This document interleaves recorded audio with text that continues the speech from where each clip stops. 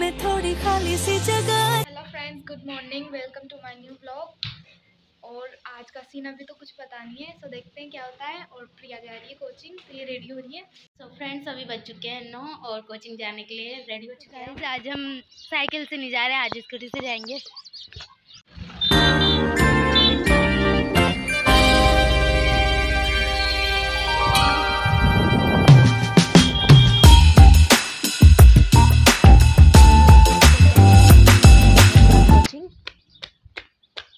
सभी बज चुके हैं ग्यारह और अभी खाने का टाइम हो चुका है। खाने में है बैंगन, छाछ और रोटी और उसके साथ में थोड़ी सी बाटी भी। तो खाते हैं खाना, मस्त। गाइज़ अभी हम आए हैं प्रिया को लेने के लिए। प्रिया आ चुकी है फ्री हो चुकी है। अभी चलते हैं घर को।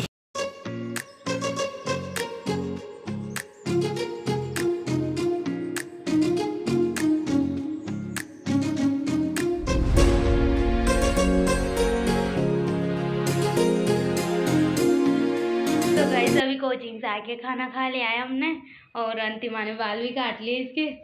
और अभी ये निहार रही है खुद के बालों को।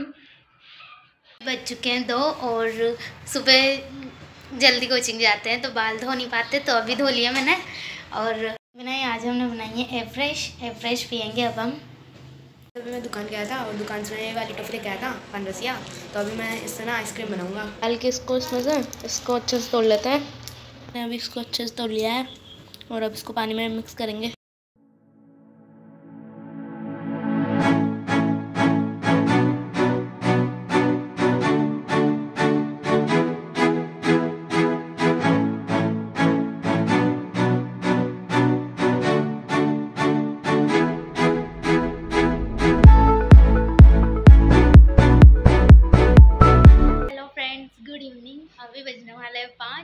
और मम्मी भी कहीं गए थे तो वो आ चुके हैं।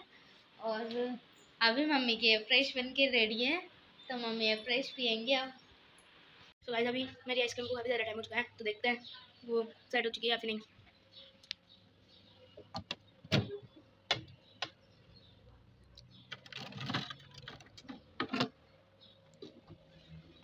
भाई जम गई है, इसको टेस्ट करके देखते हैं।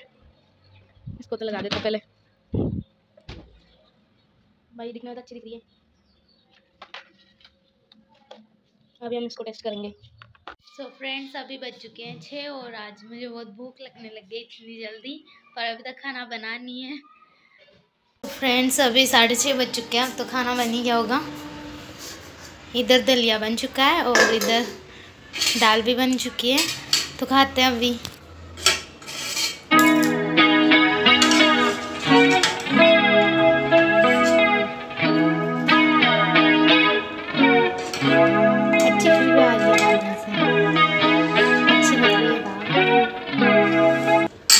काफ़ी है। सो फ्रेंड्स अभी खाना खा लिया है और मम्मी बाहर घूम रही है। तो अभी तो कल तो मेजर टेस्ट है कोचिंग में तो उसकी तैयारी करेंगे और ये अंतिमा यहाँ पे सिर्फ़ नोटबुक लेके बैठी है पढ़ नहीं रही है ये बिल्कुल भी।